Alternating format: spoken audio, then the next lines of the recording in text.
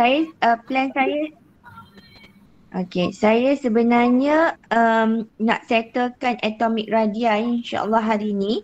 So esok kita akan settlekan ionic radii. Okay, minggu depan hari selasa tutorial uh, saya nak settlekan habis chapter 3. Okay, so hari Rabu pada minggu hadapan uh, kita akan discuss uh, tutorial sekejap. Lepas tu saya nak terus briefing assignment hari Rabu depan. So hari Kamis minggu depan pula saya nak uh, masuk uh, eksperimen tiga lah. Okay. Uh, so saya nak settlekan assignment dulu. Lepas tu eksperimen tiga hari Jumaat insyaAllah kita discuss uh, untuk practical test. Okay. So minggu depan banyak lebih kepada prepare for exam lah sebenarnya. Prepare for exam dan juga assignment. Okay, so tengok practice question 2 kat sini. Okay, nampak kan pada screen masing-masing? Okay, saya besarkan sikit. Okay, so kat sini dia kata the proton number of element Q and R is 20 and 12. So Q and R 20 dan 12 respectively. Compare the atomic radius of atom Q and R. Explain your answer. Okay, so first awak kena buat apa untuk soalan ni? First nak buat apa? Electronic, Electronic configuration. Yes. Uh, apa-apa soalan bila melibatkan periodic table, kita mesti start dengan electronic configuration lah. So Q ada 20. Saya nak panggil Syafika Haisa. Syafika Haisa. Apa electronic configuration untuk Q? Syafika Haisa tak ada? Ya, madam. Ah, apa dia? Electronic configuration untuk Q?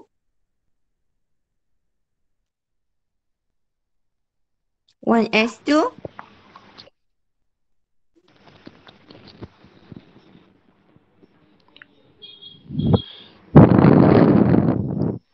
Two S two. Two P six. Four S two. Eh sorry, for S2 pula. Tak ada line ke ni? 1S2, 2S2, 2P6, 3S2, 3P6, 4S2 lah. Betul? So 10, 12, 18, 20. Okay, untuk R, dia ada 12 sahaja. So 1S2, 2S2, 2P6, 10, 3S2 lah. S2. Uh, so ada uh, ada 12. Okey, saya nak tanya. Uh, saya nak tanya start dengan kelas 28 dulu. Uh, sekejap eh. Nurul Mashita. Nurul Mashita. Okey, kalau untuk elemen Q ni dia period apa ya? Um, sekejap. Dia period apa? P. Ah, period. Period 4. Okey, period 4 dia blok apa? Block S. Blok S dia group apa? Group 2. Okey, dia group 2. Okey, thank you. Okey, untuk R pula saya nak panggil kelas S2 uh, ni, S39. Uh, Litan Jali. Yes, madam. Litan Jali. Okey, period apa ni untuk R? Uh, period 3, Okey, period 3. Blok apa?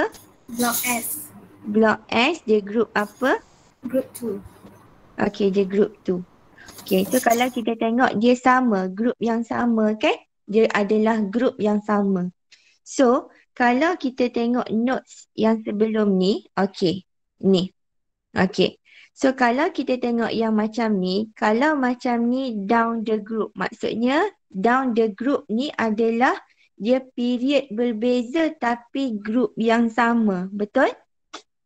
Ah, so bila dia period berbeza group yang sama, cerita dia adalah down a group di mana kita akan guna keywordsnya adalah pieces.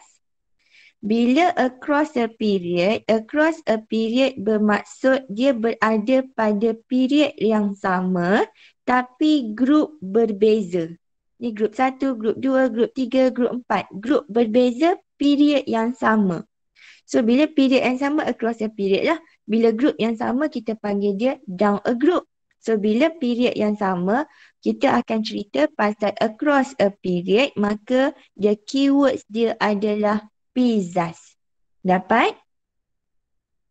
Okay, so untuk soalan praktis yang kedua ni, dia adalah group yang sama, maka of course lah dia adalah pada period yang berbeza sebab period 3 dan juga period 4. So, kita nak cerita pasal apa? Kita nak cerita across a period, kita nak cerita down a group. Down a group.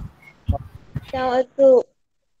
Down a group, okay. Kalau kita nak cerita down a group, maksudnya Ah, so betul lah down a group lah sebab period berbeza, group yang sama. So bila down a group, cerita pasal apa? Pizzas ke pisas? Pisas. Pisas. pisas.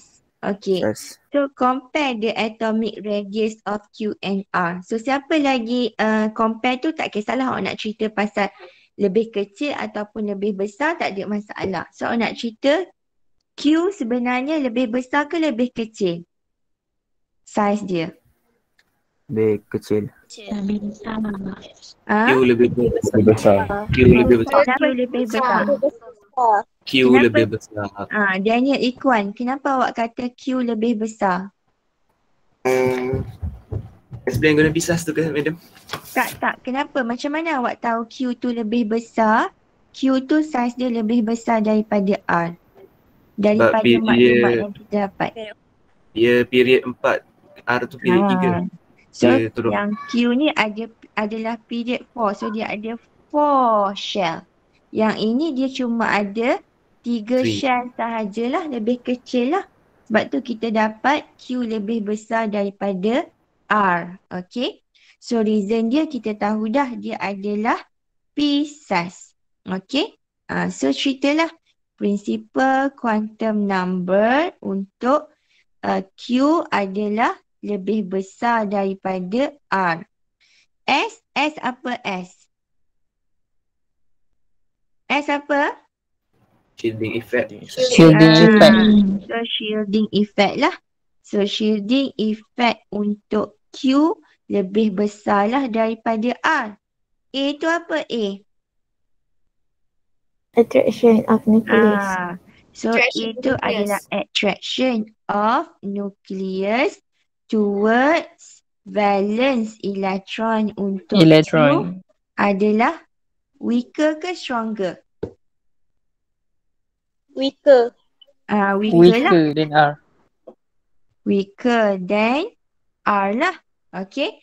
So bila sebut pasal attraction dia tak boleh sebut increase ataupun de- decrease ataupun lebih besar atau lebih kecil. Okay. Bila kita sebut pasal attraction dia mesti sama ada stronger ataupun weaker. Okay. And of course S tu adalah apa? S tu adalah S tu adalah apa kelas? Nice. Okay, S itu adalah size. So Q adalah lebih besar uh, daripada R. Okay? Faham setakat ni? Okay tak okay? Praktis dua. Okay. Okay, madam. Okay. Okay, so Hmm, kalau semasa dia medium. dalam- Madam, Ah. kalau kata Ya. jawab masalah macam ni memang kena berdasarkan pieces lah. Yes, sebab dia pada grup yang sama, period berbeza. Tengok macam ni Hmm. tadilah yang saya cerita. Dia grup berbeza kan? Ah ni. Uh, sorry, grup yang sama. Grup yang sama, period yang berbeza. Period yang berbeza. Ah, period berbeza, kita cerita down a group lah. Sebab group yang sama. Kalau period yang sama, kita cerita across a period. Kita tengok apa yang sama. Faham tak? Faham madam, faham. faham. Ni- so ni group yang sama. So down a group lah. Kalau period yang sama, maka across a period lah. Okay, so kalau dalam exam, awak write the electronic configuration yang awak dapat satu markah. Bukan dalam exam ya, dalam assignment. Awak buat electronic configuration into R dah dapat satu markah. Okay. Uh, lepas tu explanation lah. Ni satu markah, dua, tiga, empat. So, tujuh markah kat sini. Okay. So, kita tengok pula untuk practice tree. Saya tukar pen jap. Okay. So, practice tree dia kata the elements below are found in the periodic table. Okay. So, kita just fokus pada yang kat bawah ni je lah. Tak boleh fokus pada yang atas. Nak buat apa? Nuclear number. Kita just fokus pada proton number. Okay. Arrange the element in descending order. Descending maksudnya apa? Descending menurun. maksudnya Menurun. Decrease. Menurun. uh, uh, menurunlah decreasing order. So bila decreasing order, kita nak guna simbol apa? Greater than or less than? Greater than. Greater than. Greater than. Uh, so kita tahu kita akan guna this types of symbol lah, greater than. Explain your answer. Okay. So first, step pertama, nak buat apa sekarang? Electronic configuration. Right. Apa-apa start with electronic configuration. So, element X ada 12. So, 1S2, 2S2, 2P6, 3S2 lah. Okay. And Y ada 11. 1S2, 2S2, 2P6, 3S1. Okay. And last one Z dia adalah 16, 1S2, 2S2, 2P6, 3S2, 3P 10, 12. Uh, berapa? 3P4. 3P4. Betul? Okay? Ha. So, sekarang ni, kita nak tengok dia adalah period ataupun group yang mana lah sebenarnya kan? Okay. So, um, saya nak panggil siapa ya? Uzma? Uzma. Uzma? Aulia? Aulia ni tak PM pun saya. Saya suruh PM saya semalam pun tak PM juga.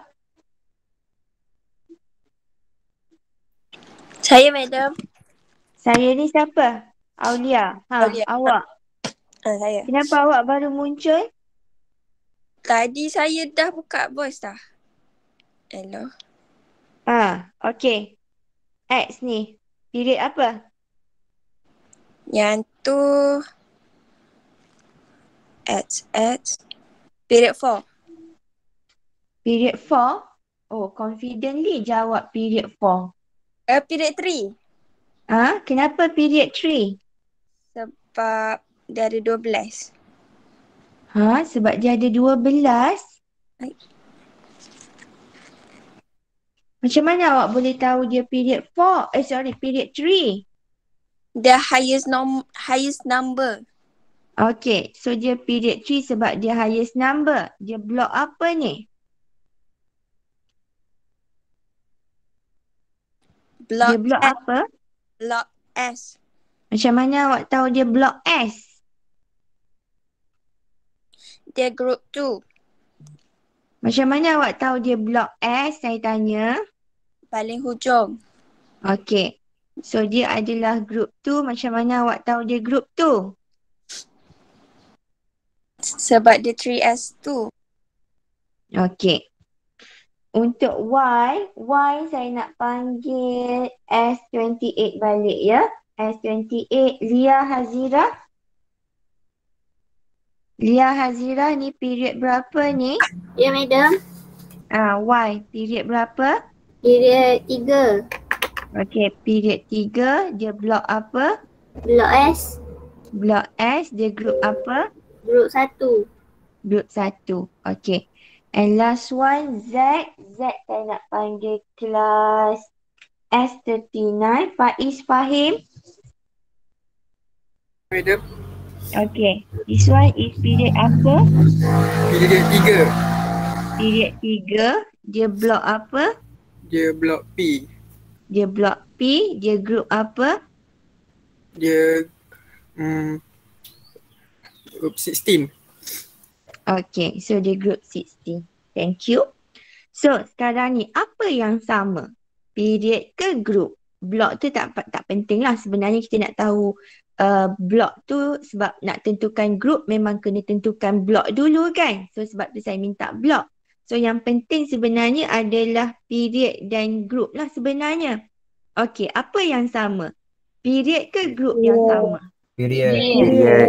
Ha, period tiga ni, period tiga ni, period tiga. Period yang sama maka kita nak cerita pasal across a period ke down the group. Pizzas. Across Yelah kita nak cerita pasal across a period ke down a group. Across the period. Ah, so kita akan cerita pasal across a period lah sebab dia adalah period yang sama. Okay. So, sebelum kita nak cerita, kita kena susun dulu sebab dia suruh arrange kat sini. So, kita tahu kita kena susun in descending order. Yang paling besar dululah. Siapa yang paling besar? Uh, element Y. Y. Element Y. Kenapa Y? Ha, Group Sebab? satu. Dia, sebab dia kita tahu group dia satu. group satu dia makin lama makin kecil kan. Ha, so group Betul. satu mula-mula dulu. So Y lah yang paling besar. Lepas Y siapa? X. Okey, lepas Y X. Lepas X siapa? Z. Ah, Z lah. Ah, so ni adalah uh, dia punya markah pertama. Seterusnya explanation. So since that dia across a period maka kita akan cerita pasal pizzas ke pizzas? Pizzas. Ah, pizzas lah. Ah, keywords dia adalah pizzas. So P represent for Ah, so proton number. So proton number kalau kat sini proton number increase ke decrease? So kat Increase. sini Y 11, X ada 12, 16. So proton number increase lah. Okay, proton number increase from Y to Z. Okay. Z. Z tu apa? Z tu apa? Effective nuclear charge. Ah, Z ni kita tak boleh tulis ZEF macam tu ya. Salah. Kena tulis effective nuclear charge. Effective nu saya cuma nak guna ZEF tu singkatan sajalah. Effective nuclear charge increase from Y to Z lah. Then A. A apa A? Okay, so A adalah attraction. Attraction of nucleus towards valence electron. Apa? Stronger ke weaker? Stronger. Stronger. Ah, stronger lah. Stronger. From Y to Z. And last one adalah size decrease lah. Size makin berkurang from Y to Z. Okay. So, ini satu markah, satu markah, satu markah. Ini satu markah. So, setiap point tu satu markah. So, kat sini ada 8 markah lah kat situ. Okay, this is the way how you answer uh, untuk assignment nanti. Okay? Boleh untuk practice, practice berapa ni? Practice 3. Okay ke tak okay setakat ni? Okay, next. Last one, practice 4. So practice 4, dia minta consider the following elements P, Q, R and S in the table below. So, first thing nak buat apa kat sini? Electronic Yes, apa-apa kita kena start with the electronic configuration. So kita buat P dululah. So P ada 3, 1S2, 2S1. Q ada 7, 1S2, 2S2, 2P4. Eh betul ke? 2P3 lah kan? Okay. Q R adalah 11. So 1S2, 2S2, 2 P6 3S1. And last one adalah S S12 1S2 2S2 2P6 3S2 10 12. Okay. So, uh, lepas tu nak buat apa? Lepas dah buat electronic configuration, kita nak buat apa ya? Determine the location. Ah, determine lah macam sebelum-sebelum ni saya buat. Setiap kali saya dah buat electronic configuration, mesti saya buat benda ni. Okay, sebab tu 3.1 tu sangat penting semalam. Okay, ah, setiap kali saya buat electronic configuration, sentiasa saya buat benda ni. Okay, so awak kena determine dia duduk di mana.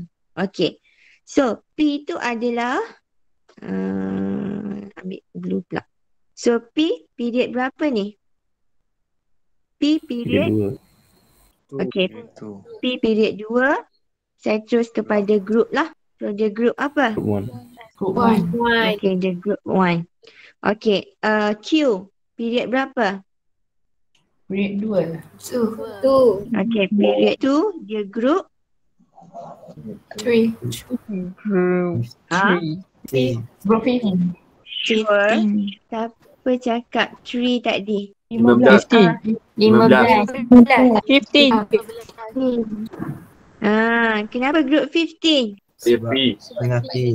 Ah, sebab dia block P. Block P dia sekali dengan S kan? Ah, so dia kena tambah 10. So dia group 15. Okay, R period berapa? Tiga. Three. Okay, period 3 dia group berapa? One. Okay, group 1. And last one S period berapa? Three.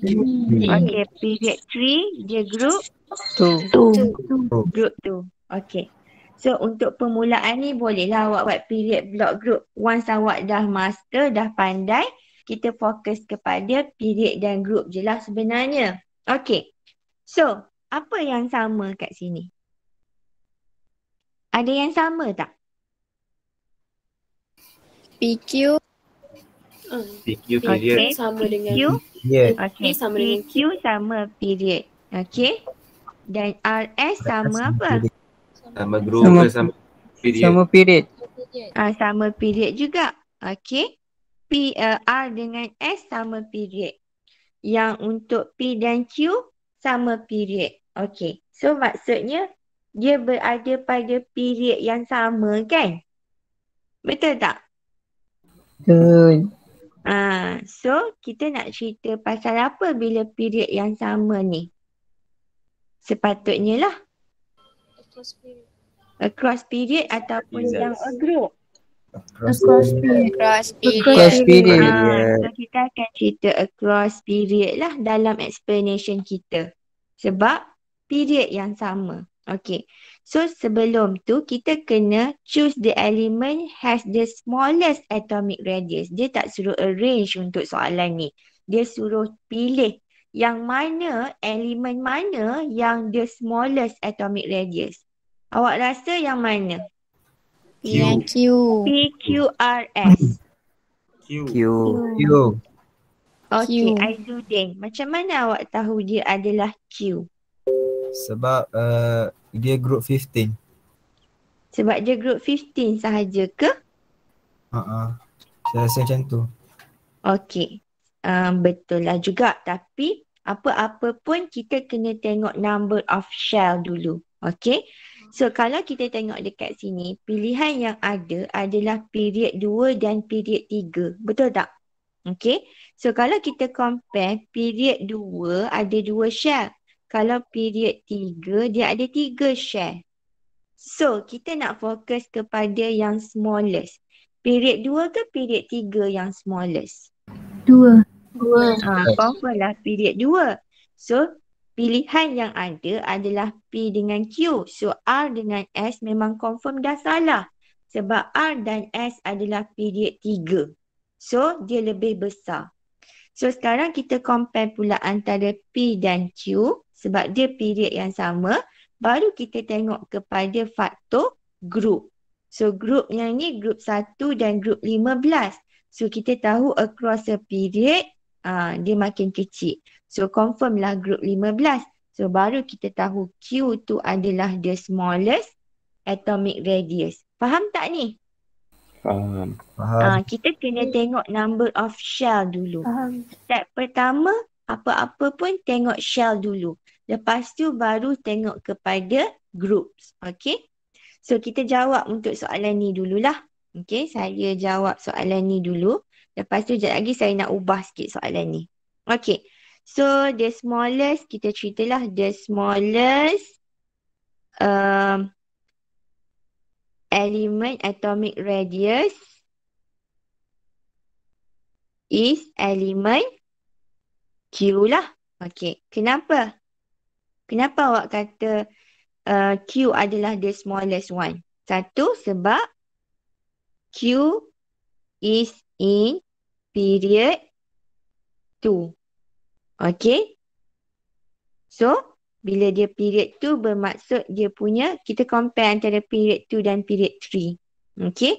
Q is in period 2 uh, compared to um. Q is in period 2 which has low uh, shielding effect. Shielding effect compared to compared to R and S lah. Okay. So attraction, attraction, attraction of nucleus towards valence electron untuk Q uh, Sekejap, ni kita kena buat Q and P dululah. Is in period 2 which has the low shielding effect compared to R and S. Attraction of nucleus towards valence electrons for Q and P is stronger lah compared to R and S. Ha, sebab tu size dia. Okay, lepas tu kita cerita pula antara P dengan Q. Q is smaller than P because okay, Q has highest Z effective nuclear charge. So attraction of nucleus towards valence electron for Q is stronger lah. Stronger than uh, P. So that's why size of Q. Uh, dah cerita dah ada yang atas. Faham ke tak faham cerita dia macam mana? First saya cerita dulu kenapa saya pilih P and Q tu um, is the smallest one disebabkan oleh faktor shielding effect. Sebabnya period berbeza. Okay? Sebab period 2 and period 3. Sebab tu reason dia pasal shielding effect kat sini. Lepas tu saya cerita compare pula antara Q and P is the smallest. Saya cerita pula pasal ZEF. Disebabkan oleh dia punya different groups lah. Okay ke tak okay setakat ni? Okay, madam. Ya. Yeah. Maksudnya uh, soalan ni kita boleh uh, masukkan pisas dengan pizas lah kan? Boleh. Oh Ya, dia. yeah. kita kena masukkan pisas dan juga pizzas. Since that kita cerita dulu macam mana kita dapat Q. Ha, tadilah kita compare antara period 2 dan period 3. Sebab dia different period, ha, kita assume dia on the same group lah. So kita akan cerita down a group lah which is shielding effect. Okay. Lepas tu baru kita cerita pasal pizzas tu lah. Okay, katalah saya ubah soalan ni. Saya ubah soalan ni, saya suruh arrange. So awak rasa siapa yang paling besar? P, Q, R dan S. R. Kenapa R? Uh, group 1. Okay, group 1, satu dia period 3 kan? Satu dia group 1 compared dengan group 2. So, kalau saya ubah soalan ni, okay, so confirm R akan lebih besar. Lepas R siapa? S. S. Okey, S lah sebab dia berada dalam period tiga. Lepas S siapa? Q. Ha? P. Eh, Q. P. P. Q tu adalah the smallest one. P lah. P ah greater than Q. So yang ni reason dia sebab dia adalah duduk di period tiga and this one berada di period dua. So confirm lah period tiga lebih besar daripada period dua.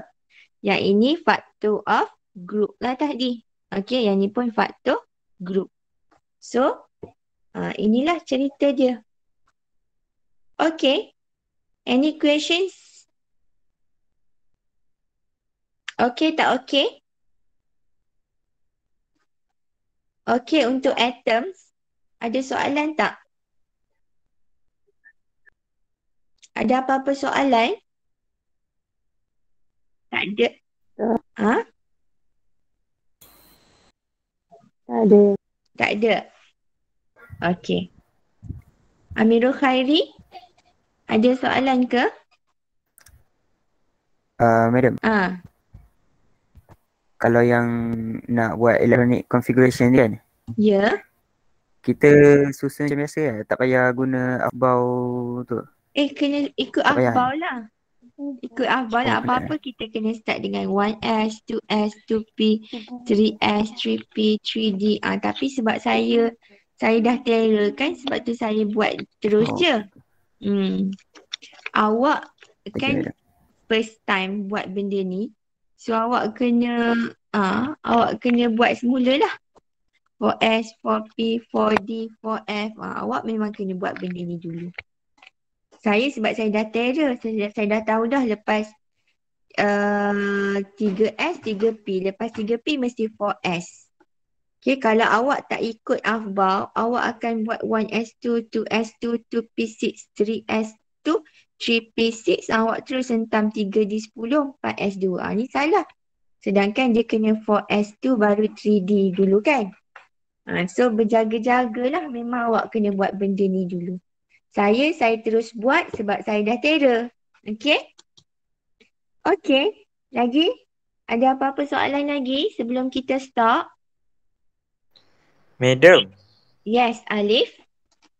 saya tak faham yang untuk blok D yang kat video madam tunjuk tu. Uh, yang mana eh? Blok D. Yang ac- across the first row of transition element. Uh, ah, yang tiga tu, yang bawah. Yang ni, yang bawah ni.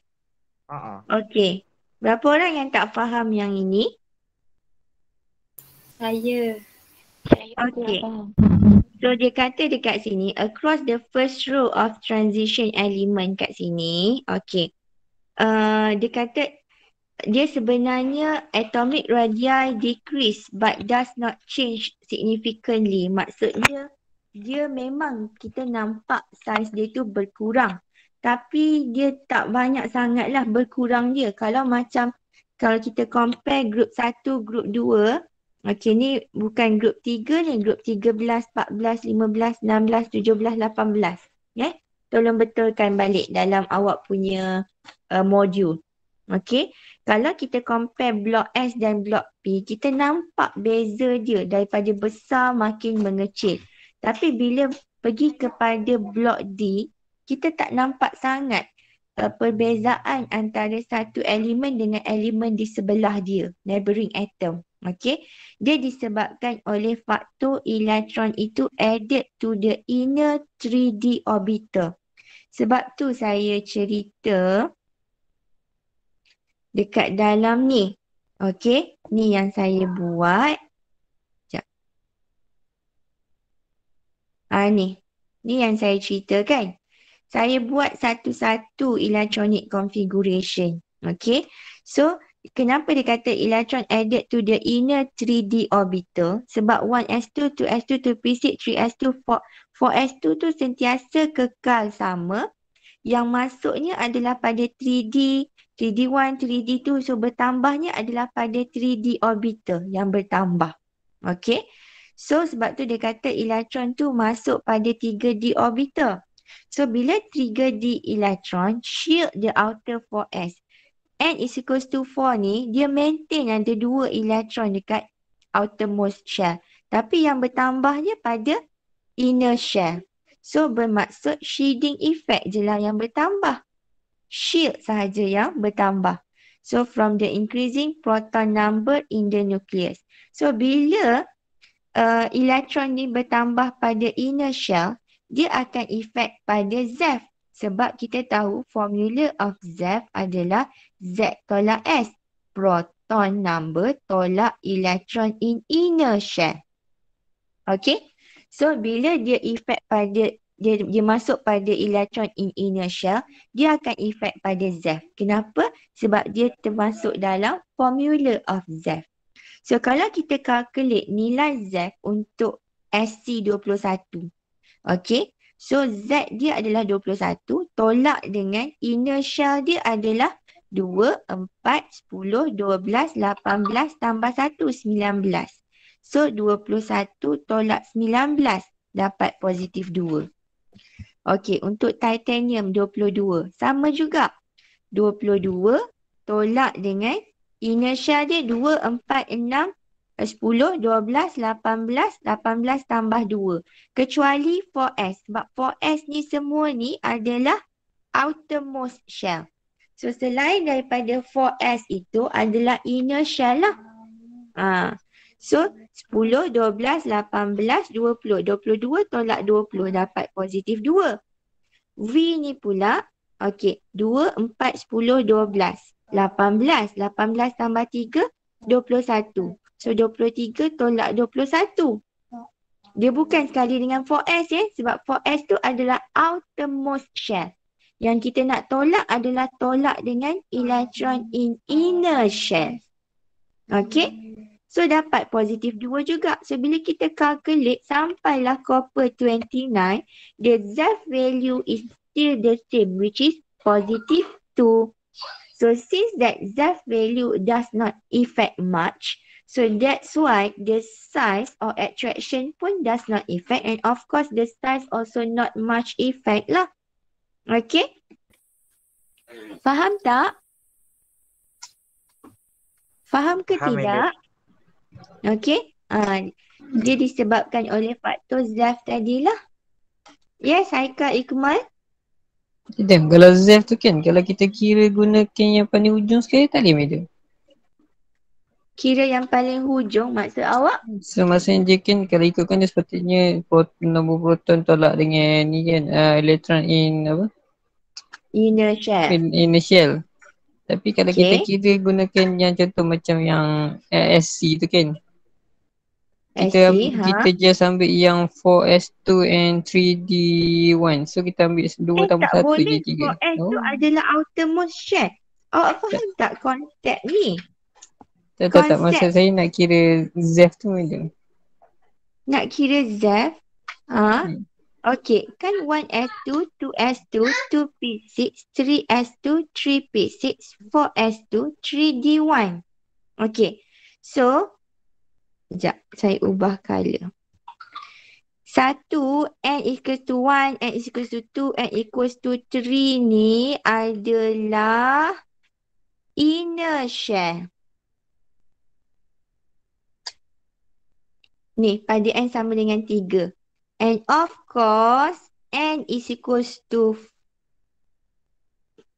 N is equals to 4 ni, N is equals to 4 ni adalah outermost shell. Faham tak? Jadi, proton number 21 tolak dengan electron in inner shell tu adalah ni lah 2, 4, 10, 12, 18 tambah 1, 19. Sebab tu 21 tolak 19. Sebab N sama dengan 4 ni adalah outermost shell. Faham tak ni Haikal Ikmal? Ah, faham madam, faham. faham. Faham eh? Faham, faham. Ha, sebab tu saya kata tadi, semua yang N sama dengan 4 ni adalah outer shell. But the formula for Z value is Z minus S which is proton minus electron in inner shell. So in inner shell, focus on N is equals to 1, N equals to 2, and n is equals to 3. That is the electron and in inner shell. Faham? Ah, you have to know the concept of kat mana electron in inner shell, kat mana electron in outermost shell. Outermost shell electron paling luar lah. Okay? Ah, dah 12 suku dah ni. Okay, any question lagi?